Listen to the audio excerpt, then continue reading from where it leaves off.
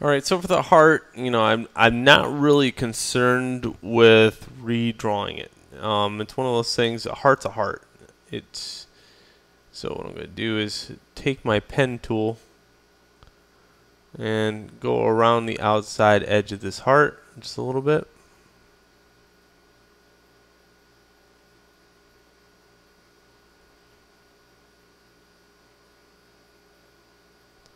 And I click and drag to make this curve.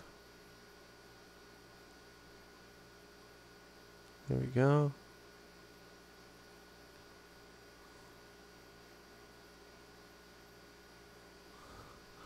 Just like that. So if I want that heart to take shape, I'm on a new layer.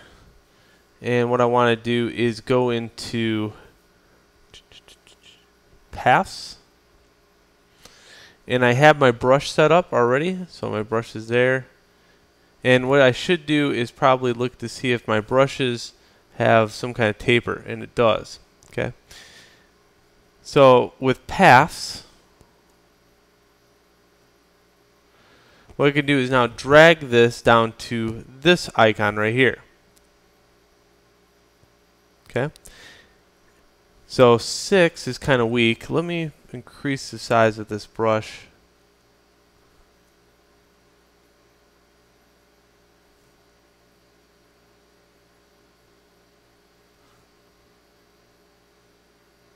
Maybe a little bit more here. Too much.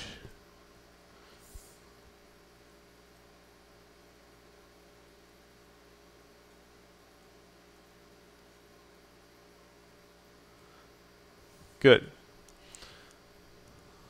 And what happens here is I got this path now in my way, so I'm going to delete it out, and there's my heart. Oh, oh, oh tricky, right? And if I want to straighten it out, I can go filter liquify. One of my favorite tricks is just going in here,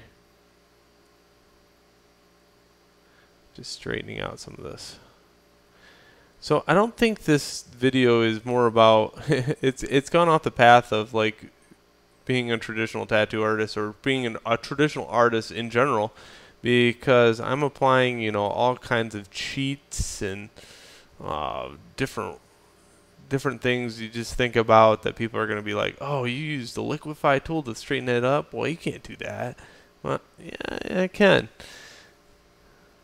if it teaches you Photoshop sure Okay, so now I got the sword on one layer, I got the other on that layer.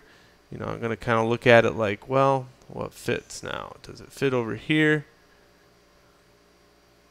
Does it fit down the center?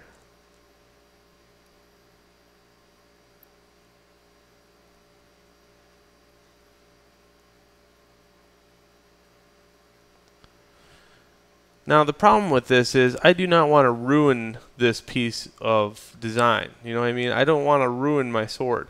So here is a nifty trick for that. You take and make a mask layer. Okay? Anything that you paint black on this little tiny square will now disappear. So if I take black on my brush and go like this and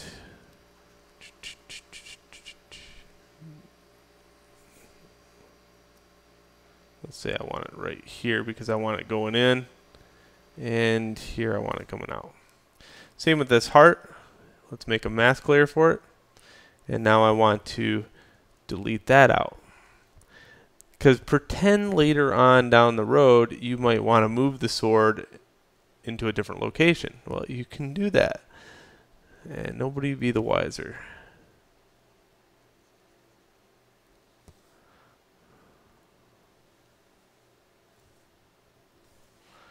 Okay, so if I just unlink these or delete these, they're gone.